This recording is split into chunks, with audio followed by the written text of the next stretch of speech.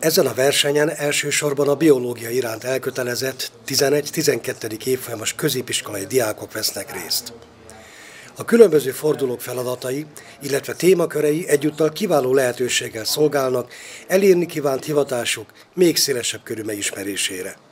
Fő témája az embertan, a biokémia, a anatómia, nyilván a professzor úr munkásságának köszönhető az, hogy az anatómia viszonylag nagy súlyjal szerepel ebben a versenyben.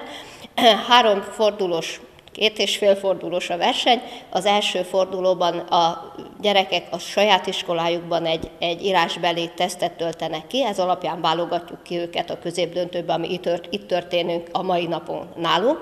A középdöntőbe pillanatnyilag 26 diák hivatalos, tehát ebben a tanévben 26-an jutottak be, és innét 12 diák fog tovább jutni a holnapi napon Pécsre, ahol a döntő fordulót fogják megrendezni. Az egyetemi felvételizők toplistáján a biológia talán még nem a legfelkapottabb tantrágyak közé tartozik. Így aztán komoly erőfeszítést igényel a szervezőktől a verseny színvonalának megtartása, az érdeklődés felkeltése. A változások azonban pozitív irányt mutatnak. Most nagyon sok felől Egertől kezdve Szolnokon keresztül, Keszthely, Kőszeg, Győr, Pécsi versenyzőnk volt az elődöntőben, tehát igazából megpróbáljuk országos szintre kiterjeszteni.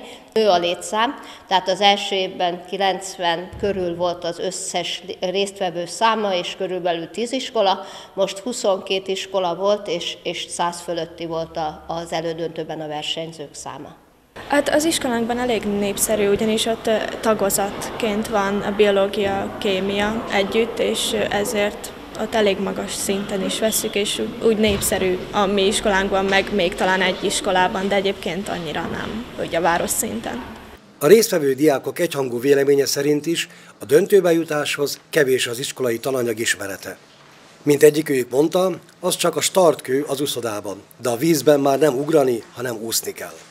Hát az első fordulóban szerintem eh, ahhoz, hogy ebbe a fordulóba tovább tudjak jutni, az elég volt bár nem tudtam minden feladatot megoldani, hiszen volt egy-két feladat, ami ezen túlmutatott, ahhoz elég volt, hogy idáig eljussak.